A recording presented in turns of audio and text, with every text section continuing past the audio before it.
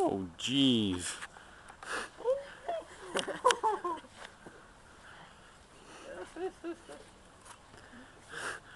Alright, where did it hit exact? Right? Head got Stitch's head got blown off. Stitch's head is Oh, look right here. We got a dent. That's a heck of a dent. right where This it, army guy got blown up. it, I'm guessing Lilo is like standing right here. I'm guessing it launched up through Lilo's head and smashed into that. Oh, here's the backside of the head. It was found out in the yard.